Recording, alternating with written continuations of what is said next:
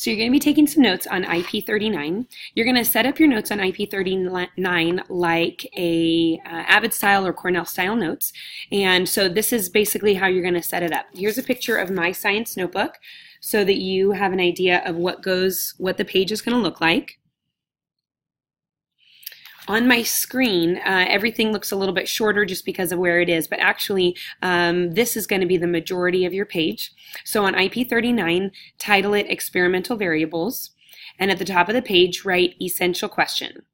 This is the essential question for today. When conducting a scientific experiment, what is the difference between an independent, dependent, and a controlled variable? So then when you set this up, you're going to make a line at the top, a line down the left of your page, uh, title this notes questions, and then leave the bottom space, uh, maybe about three to four lines for so that you can answer the essential question when you're finished with the notes. Today's notes are all about what makes an experiment fair. Here's the first section of your notes. In the first section of your notes on the notes side of your page, um, you need to know the difference between a dependent, I'm sorry, independent, dependent, and controlled variable. An independent variable is the one and only factor that is changed in an experiment. A dependent variable is the factor which is measured. That's what you look at to see what gets changed in your experiment. It's the thing that responds to the changes of your independent variable. And then last, you have the controlled variable, all the factors that stay the same in an experiment.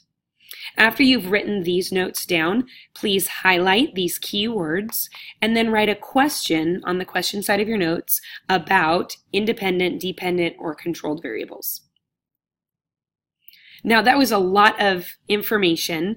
Let's actually put it into practice and give you some practical examples, and hopefully you'll understand it a little bit better. Here's section two in your notebook. Let's put this into practice and give you an example. Let's say that we wanted to find out what type of bird feeders um, a bird liked the best. Uh, if they prefer red bird feeders, blue bird feeders, or green bird feeders. In this case, then, the independent variable is the color of the feeders. That's the thing, the one factor that gets changed. It's whether the bird feeder is red, blue, or green. The dependent variable, the thing that you measure, or the thing that gets changed as a result, is the amount of seed that gets eaten by the birds. So, for example, I'm going to put the same amount of seed in each one of these bird feeders. And then after a week, I would check to see how much bird feed is left in each one of them. That would be my dependent variable, the thing that I'm measuring to see which one the birds preferred. Then my controlled variables, the thing that all stays the same would be where I put the bird feeders, the kind of feed that's used, and putting, making sure that the bird feeds get put out all at the same time every single day. I wouldn't want to use different types of feed because then I don't know, is it the type of feed they like better or is it the color of the feeders? And that's what I'm actually trying to test. So this type of experiment is uh, then put into just a chart. This is just an example so you can see. Again, the controlled variables are where you put the feeders, the kind of seed, and the type of feeder that you use. The independent variable is the part that you change in your experiment red, blue, or green. And then the dependent variable is the thing that you measure or the thing that you're checking to see if it changed, which would be the amount of seed eaten in each bird feeder. This experiment would not be fair.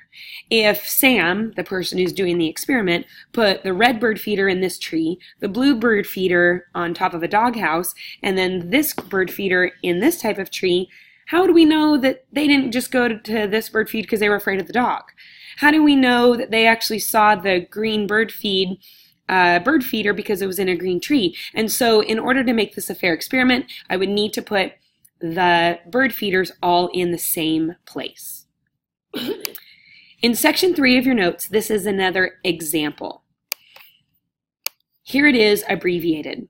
An independent variable is what you change in your experiment. The dependent variable is what you measure, what gets changed as a result of your independent variable, and your control is what stays the same. Would you write this example down? Let's say we were doing an experiment where students of different ages were given the same jigsaw puzzle to put together. They were timed to see how long it took the puzzle to finish. So in this case, I'm going to start with my control. The control in this case, and I'm going to highlight it with the purple color, is that the students were given the same jigsaw puzzle because that's the same for every single student. The independent variable, the thing that I changed in this experiment, are students with different ages because that's the thing that I'm changing. And then the dependent variable, the part that is measured in this case, is the time that it took to see how long it took them to finish the puzzle. That's what I'm measuring as a result of my independent variable. Here's just a few other examples you don't have to write down. Let's say we wanted to know, do people with less sleep have slower reaction times? My independent variable, the thing I would change, is less sleep. Then I would test or measure people's reaction time. That would be my dependent variable. Here's another example. Does texting change reaction times? I'm going to change texting, seeing if some people text and some people don't, and then I'm going to measure their reaction time after they've done some texting. That would be my dependent variable, the thing I measure. Here's one more. What household cleaner repels the ants the best? The independent variable, the thing I'm changing, would be the different household cleaners. And then the thing I'm measuring is how many ants would it repel. Would you now stop your notes, stop this, write a question for section two and three if you haven't already done it, now answer the essential question at the bottom of your notes. When you're finished with that, go to IP, excuse me, OP39.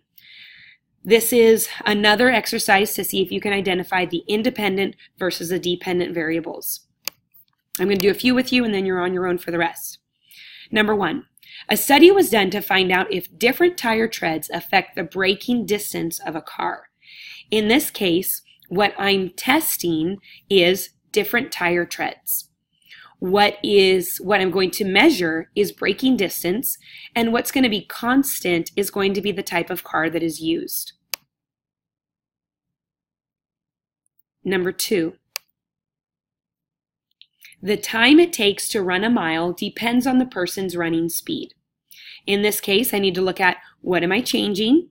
What am I measuring? And what's going to stay the same? In this case, what I'm changing is the independent variable. That would be the speed. The time is going to change what I'm measuring, excuse me, and the mile stays the same. Everybody runs the mile, that stays the same. But people's speed is going to change, and then I'm going to time to see how long it took them to do that. That's what I'm measuring. That would be my dependent. One more and then you're on your own. I'm going to test the height of a bean plant and see if it depends on the amount of water that they receive. My independent variable, the thing I'm going to change, is the amount of water. The thing that I'm going to measure is the height of the bean plant, but the thing that stays constant is the type of plant, the bean plant. So the independent variable is the amount of water, what I change. The dependent variable is what I'm measuring as a result, and the constant or the control is what stays the same. You are on your own for the rest. You need to finish both OP and IP39 for homework tonight.